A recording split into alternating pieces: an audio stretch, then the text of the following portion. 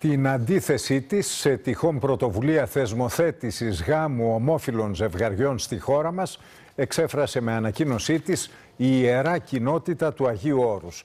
Την ίδια ώρα ο Πάπας Φραγκίσκος ενέκρινε επίσημα να δοθεί άδεια στους καθολικούς ιερείς να ευλογούν ομόφυλα ζευγάρια. Πάμε στον Νικόλα Βαφιάδη για να μας ενημερώσει.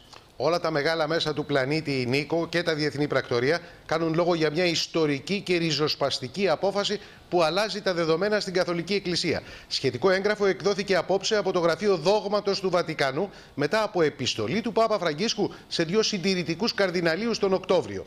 Η οδηγία του Γραφείου Δόγματος ξεκαθαρίζει ότι οι άνθρωποι που επιζητούν την αγάπη και το έλεος του Θεού δεν θα πρέπει να γίνονται αντικείμενο εξονυχιστικής ηθικής ανάλυσης για να λάβουν ευλογία. Επισημαίνει παράλληλα βέβαια ότι το μυστήριο του γάμου είναι η διαβίου ένωση μεταξύ ενός άνδρα και μιας γυναίκας. Στην επιστολή του, ο Πάπας Φραγκίσκος διευκρινίζει ότι η τελετουργία για τα ομόφυλα ζευγάρια δεν πρέπει να θυμίζει το μυστήριο του γάμου, ενώ δίδεται οδηγία στους κληρικούς να μην ενδύονται με άμφια που φορούν σε γάμους και η ακολουθία της ευλογίας σε ομόφυλα ζευγάρια να είναι διαφορετική.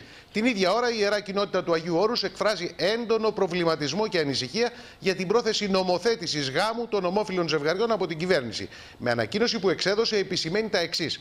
Το Άγιο Όρος ως χώρος προσευχής και ασκήσεως εύχεται ταπεινός για όλους τους ανθρώπους. Παρά τα αυτά, δηλώνει σαφώς ότι κάθε μορφή γάμου ή τεκνοθεσίας, η οποία αντίκειται στην Ευαγγελική διδασκαλία αλλά και στην μακραίωνη παράδοση του ευσεβούς έθνους και γένους ημών, όσον αφορά των ιερών θεσμών της οικογένειας, μας ευρίσκει απολύτως αντιθέτους. Ξεκαθαρίζει η ανακοίνωση ότι προσεύχεται πάντως ε, υπέρ όλων των ανθρώπων παρά την αντίθεσή της. Να ευχαριστήσουμε τον Νικόλα Βαφιάδη.